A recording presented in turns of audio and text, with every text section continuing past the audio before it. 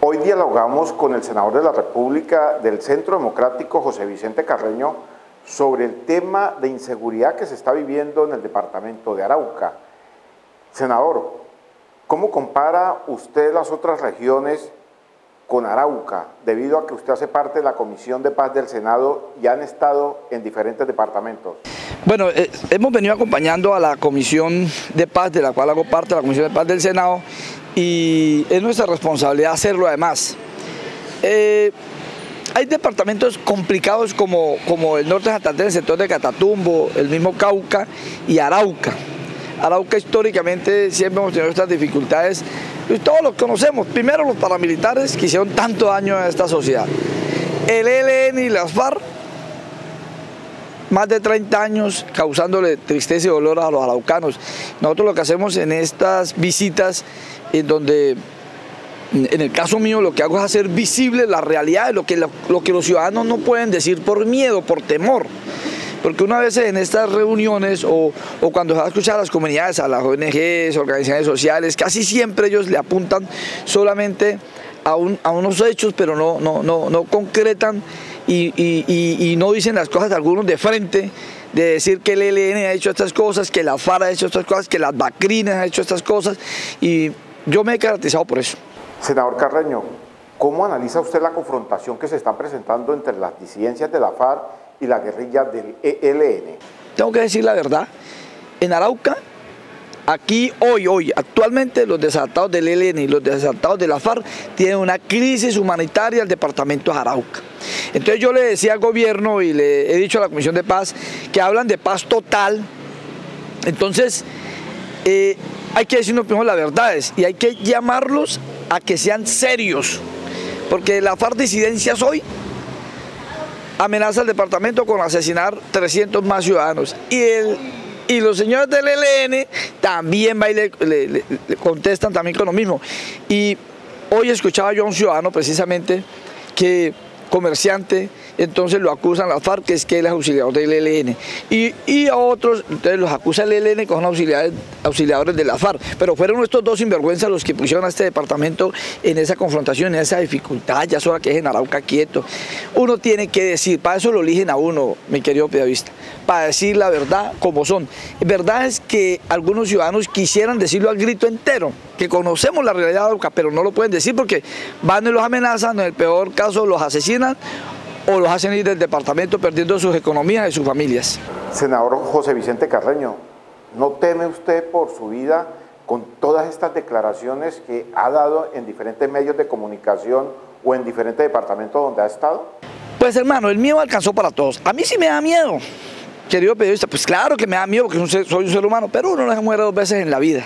Y entonces si uno se deja adelantar, mire, yo digo una cosa esto con todo respeto, si todos nos pusiéramos en la posición sobre todo la dirigencia política, si nos pusiéramos en la posición de, confrontar a la subversión, este departamento no ha tenido tanta tristeza y dolor, no se verá yo tanto capital eh, a, punta de extorsiones a los comerciantes, a los empresarios, a los contratistas.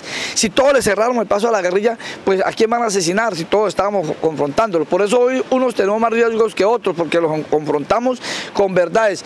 Y bueno, hermano, decía mi papá que uno no, no, no, no no nació para semilla. Sí me da miedo, eh, mi querido periodista Carlos, sí me da mucho miedo, pero también le puedo decir que uno no se muere dos veces en la vida. Senador Carreño, ¿preocupa la situación del departamento de Arauca? Homicidios, atentados terroristas, también personas que desaparecen de un momento a otro en esta región del país. Sí, yo por eso, mire, yo voy a decirle algo que, que va a ser una primicia para su medio.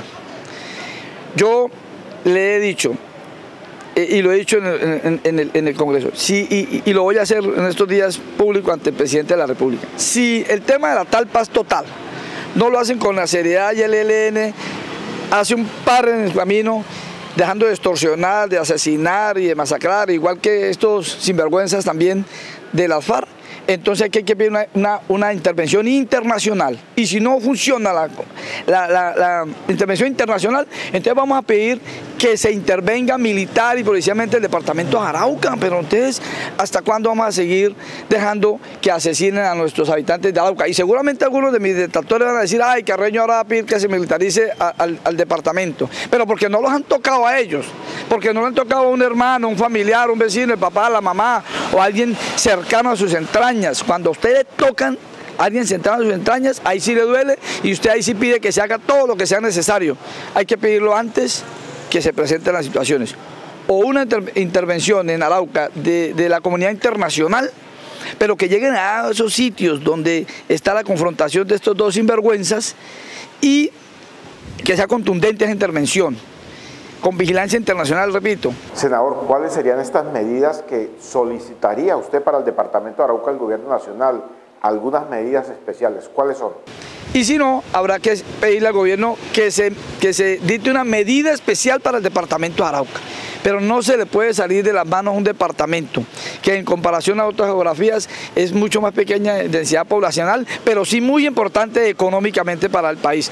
Entonces acá los gobiernos, no este, todos los gobiernos han venido usufructuando a Arauca, mire, 8 billones de pesos anualmente eh, eh, obtiene el gobierno de la, economía de, mm, mineroenergética de Arauca. 8 puntos billones que van a dar PIB y que fortalece el país. Y no le volteamos la mirada a Arauca, Arauca debería estar en mejores condiciones. También sé que ha sido una gran responsabilidad de algunos de la dirigencia política de Arauca, pero también le ha faltado ese acompañamiento también desde el orden nacional a la dirigencia de Arauca, porque no es fácil, mire, no es fácil hacer política en Arauca, Senador, los grupos al margen de la ley, disidencias de la FARC o el ELN, ¿lo han llamado a amenazarlo? ¿Sí o no? Yo le, digo a usted que hace seis meses me llamó un sinvergüenza, no sé, no podría yo asegurar porque es una llamada a pedirme plata, a pedirme una extorsión. Usted ya podrá saber cuál fue la respuesta que le di, contundente. Le recordé que tenía mamá y que con él se lo enviaba. Pero es que, hermano, ¿cómo así que estos sinvergüenzas, si se atreven a pedirme plata a mí, que sabe que no les doy y no les voy a dar y nunca les he dado, y nunca me voy a reunir con ellos y nunca voy a hablar con ellos, ¿cómo será el resto de los ciudadanos? A los comerciantes que, se sienten más desprotegidos, a los ganaderos, a los empresarios, a los contratistas, a mismos dirigentes de Arauca, de pronto no a todos, considero yo, pero sí vivimos eh, en un medio en donde la gente se siente atosigada y siente mucho miedo. Pero yo digo, si aquí nos blindáramos todos, pero para eso necesitamos un acompañamiento también del orden nacional. Entonces eso tendríamos que hacerlo, repito, con una intervención internacional o en su esfuerzo, o en su efecto, con, con la fuerza pública, definitivamente, toca sí. ¿Cómo ven los diálogos que se iniciaron hoy en Caracas, Venezuela, entre el gobierno nacional y la guerrilla del ELN? Yo soy, para resumirle, si a mí me preguntan, Carreño, ¿a usted le gustaría que haya unos diálogos serios y la paz? Claro, ¿a quién no? A mí me gusta. Por supuesto, no andaría uno aquí a toda hora como con ese cuidado de que lo vayan a asesinar. Pero siempre y cuando sea seria, sea comprometida, sea de verdad. Pero para estar con pañitos de agua tibia, para estar colgando es mejor caerse. Senador, ¿preocupa que en la mesa de diálogo entre la guerrilla del ELN y el gobierno nacional no está alias Paulito, el máximo comandante del Frente Domingo la INSA es que el en el departamento de Arauca? Le digo la verdad lo que quiero yo, Carreño, yo no lo digo en nombre del partido ni en nombre, sino del Carreño, el senador Carreño. Yo creo que sinvergüenza no se va a sentar en la mesa. Yo creo que no lo va a hacer. Seguramente le da más rentabilidad estar allá eh, eh, eh, aprovechando la facilidad que le permite eh, eh, la geografía colombo-venezolana. ahí lo que tenemos que hacer es, si no se sienta, pues hay que decirle al presidente Petro que coja al presidente a su homólogo Maduro y lo aprete.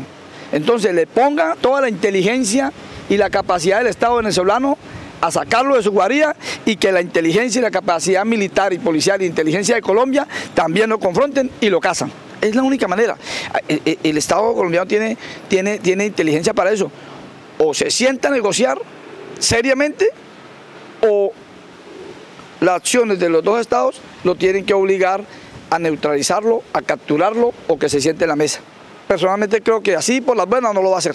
Esta es una entrevista que realizamos con José Vicente Carreño, senador de la República, donde él nos da a conocer cómo se ve Arauca desde el centro del país.